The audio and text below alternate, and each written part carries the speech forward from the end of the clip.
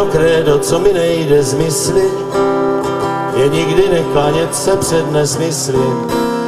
Vždy nazývat ti věci pravým jménem, nikdy neustupovat před kreténem. Když už se ten svět proti směru točí, tak pitomce bí přímo mezi oči. Můj bratr zpíval kdysi v jedné písni o tom, jak moralitou vrah se pišní. Já říkal jsem si, hele, silná slova, a dneska zpívám si to zas a znova. Tak suďte se mnou, posluchači bledí, z obrazovky podvodníci hledí.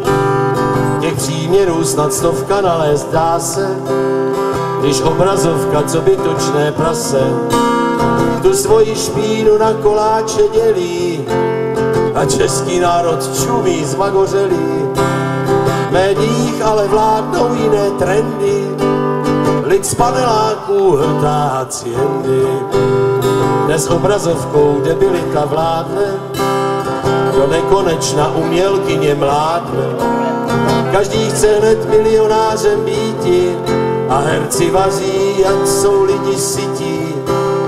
Každý, kdo prdnul, o prdu má knížku, jak snadné je to oblbnout nám šišku.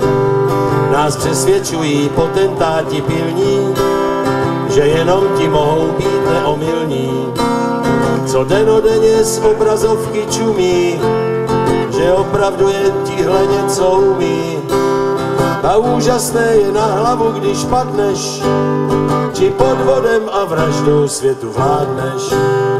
Na obrazovce dnes je zvykem totiž, desetkrát ožiješ, v tom je ta potíž.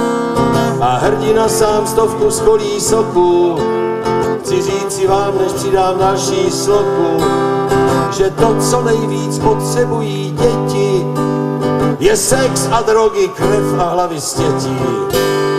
Ministr Kocour poslouchá své myši, obklopen tučným žrádlem sotva slyší, že do stolu by bylo třeba býti, hned Augiášův chlív ten vyčistiti. Dokud tu nejsme všichni zcela hloupí, jsem zvědav, jestli můj song někdo koupí.